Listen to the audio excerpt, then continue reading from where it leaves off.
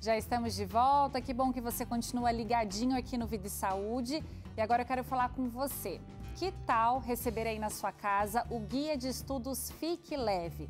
Aqui você encontra conteúdos que vão te ajudar a ter mais saúde física, mental, espiritual. E você pode pedir esse guia de estudos através do nosso WhatsApp. O número é 12 98244 4449 ou você pode ligar para 12 21 27 31 21.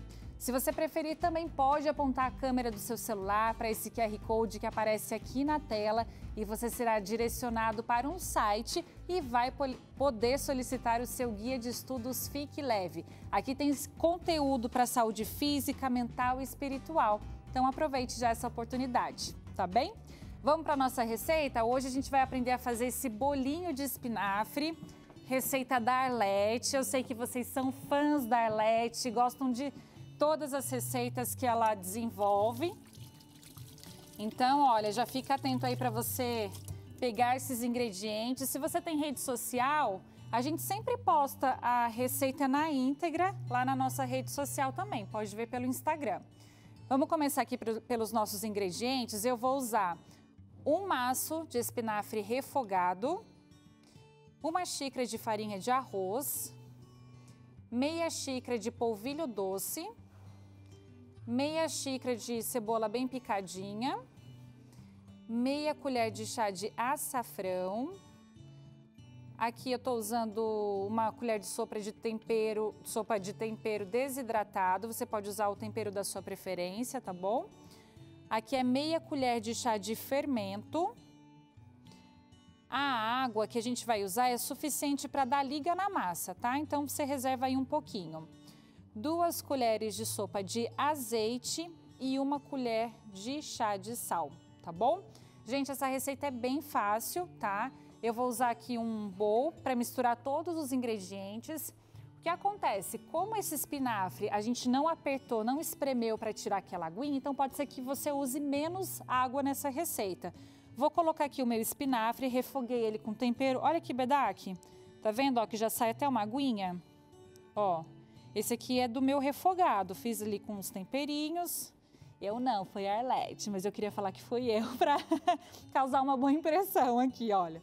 O espinafre, vou adicionar agora Aqui as partes secas. Olha só. Não tem segredo essa receita, bem fácil.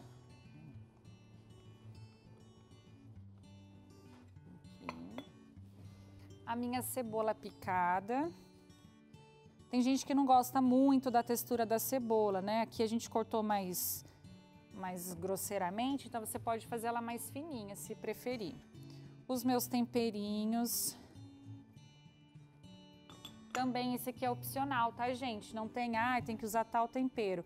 Pode usar o que você está acostumado, que tem aí na sua casa. Vou colocar os restantes aqui dos ingredientes. Olha, a água eu vou deixar aqui de ladinho, não vou colocar ainda não. Tô adicionando o azeite e o sal. Como que eu vou começar aqui essa mistura da massa? Eu vou primeiro fazer com essa espátula, tá? Ó, vou começar a mexer aqui para incorporar. E aí depois eu vou colocar aqui uma luva para terminar de mexer na minha massa.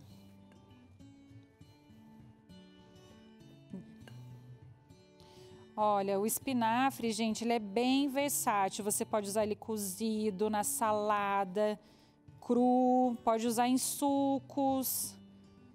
Ele é bem versátil, é uma opção barata também. Eu lembro até que na casa da minha mãe pegava super fácil espinafre. Nossa, tinha tanto espinafre lá.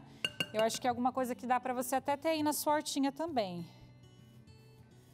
Vou colocar aqui a luva. Você sabe outra coisa aqui do espinafre? Ele é rico em ferro, então, ó, uma ótima opção também para quem está aí com, com anemia. Pode colocar o espinafre aí no seu cardápio, viu?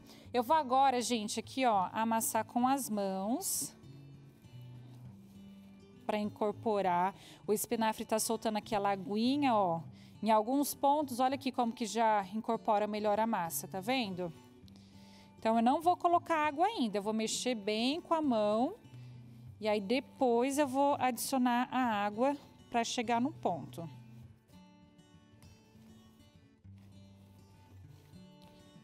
Olha só.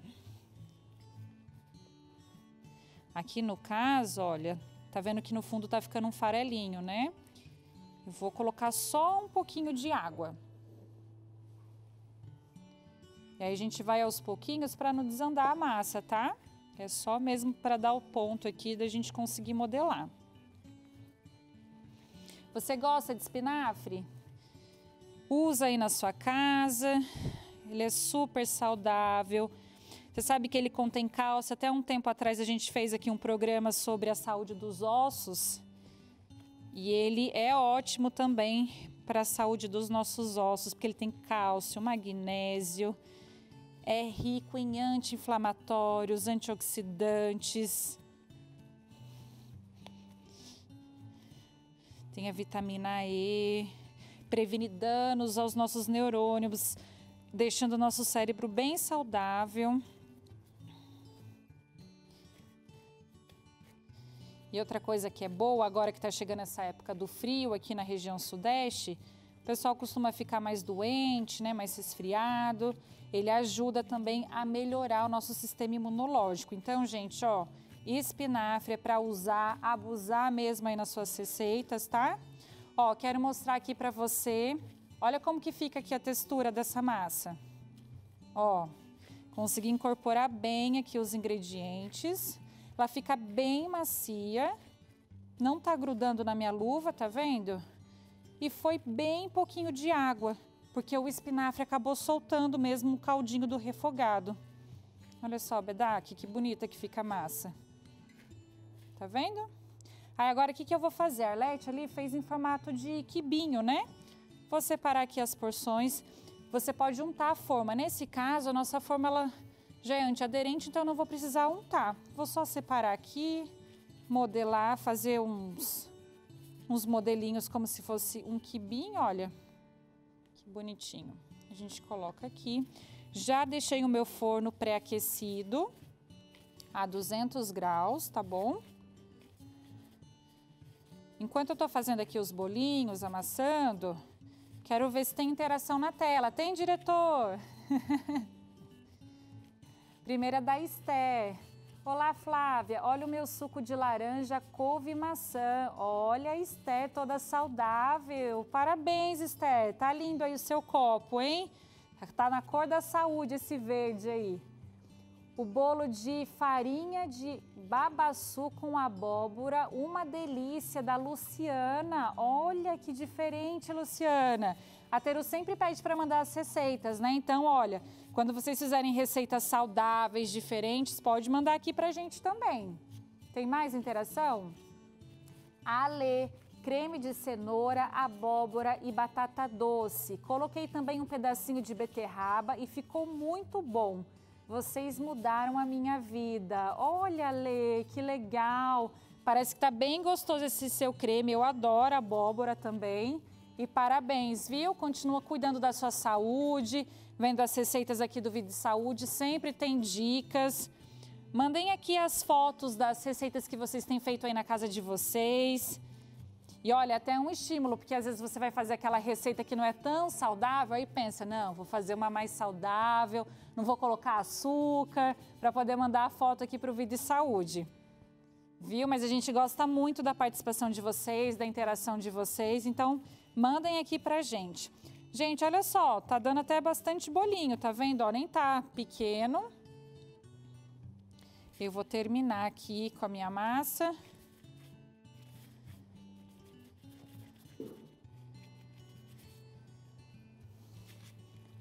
E ele fica bem com os pedacinhos, ó, do, da cebola, do espinafre aqui mesmo. Você vai sentir, tem até os talinhos na hora do refogado, não precisa tirar os talos. Usa o talinho que ele é bem saudável também, tá? Agora eu quero saber aqui na produção quem gosta de espinafre. o espinafre ficou super conhecido, né? Não vou nem falar o nome do desenho, mas você lembra que tinha um desenho que quem comia ficava super forte? E até hoje as pessoas usam isso para falar para as crianças, tem que comer para ficar forte. E aí eu quero saber aqui no estúdio quem vai comer para ficar forte. Eu acho que eu vou dar para as produtoras hoje, hein, Bedak? Será? Gente, olha, vou terminar aqui, tá quase no final. Vou ajeitar, porque aí assim eu consigo colocar todo, todos os bolinhos aqui na minha assadeira.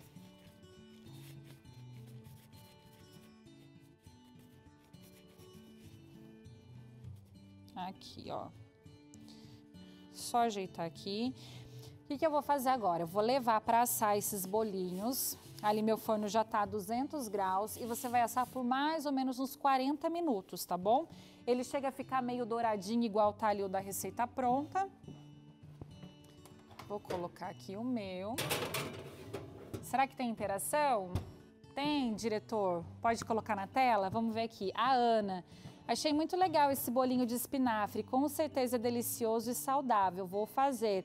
Olha, Ana, vamos fazer o seguinte: faça e mande aqui pra gente, viu? Quero ver a foto do bolinho que você fez aí. Gente, vou levar ali. Dar... Vou levar ali não, acho que eu vou comer aqui mesmo, pode ser? Hum, vocês ouviram o, o croquezinho? Hum, bem temperadinho. E fica crocante, gente. Ó, crocante por fora macio por dentro. E você sente bem o gosto dos temperos. Tá muito gostoso. Tá vendo que ele fica até meio douradinho, ó. Embaixo assim também, ó. Olha aqui, Bedak. Acho que esse é o ponto, tá vendo? Quando ficar douradinho. Ai, engasgando.